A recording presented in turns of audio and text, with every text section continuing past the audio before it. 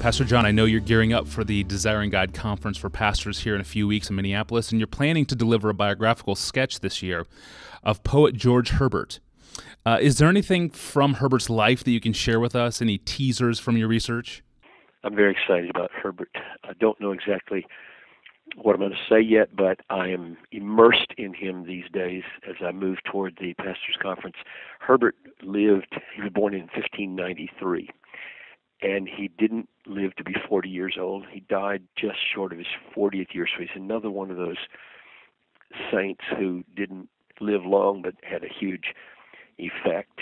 Um, he was born of a wealthy family and went to Cambridge, became the orator at Cambridge, and thus wrote and spoke before King James, who is responsible for the King James Bible, and um, battled all of his young life with whether he should yield to the ministry, the call of a pastorate, or whether he should aim at a role in the royal court. And that's where a lot of his poems come from, is the soul conflict with honor and pleasure and power on the one hand and a life utterly devoted to Jesus on the other hand. And that's, I think, why some of his poems are so so effective. There were about 184 poems, and what's remarkable is that when he was 17, he wrote two sonnets for his mother, whom he loved very much, and in those sonnets he pledged himself to to write only for the glory of God. So, in spite of all this battle with his public life in the years just after Cambridge, he held to that promise. There are there are no poems from the pen of George Herbert that we know of that don't deal with God or with the soul in relation to God. He, he's not like John Donne, who half his life or more was spent writing poems uh, of a more secular, natural kind.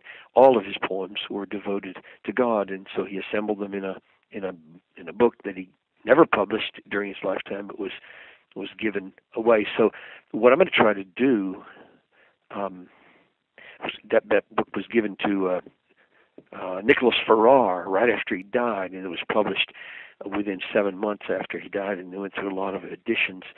What I'm going to try to do is is show how uh, God won that victory, and and Herbert gave himself over to God and over to the ministry, and was a little country pastor in a tiny church called Bemerton for the last three years of his life, and then he died of tuberculosis just short of his 40th birthday, and and how his his poetry captures that conflict and how um, poetry figures into this whole issue of brothers we are still not professionals.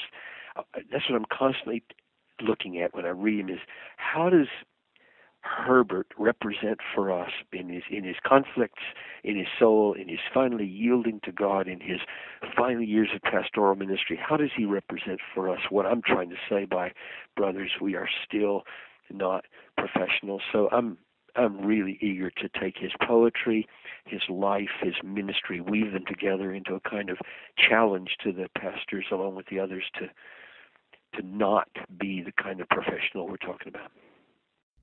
Excellent. Well, I'm looking forward to it. Uh, February 4, 5, and 6 in Minneapolis, the 2013 Conference for Pastors titled Brothers, We Are Still Not Professionals. Uh, hope to see you there. Thank you for joining us for this podcast. If you have a question for Pastor John, please email those to us at askpastorjohn at desiringgod.org.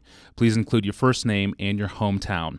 You can find thousands of other resources from Pastor John online at desiringgod.org. I'm your host, Tony Reinke. Thanks for listening.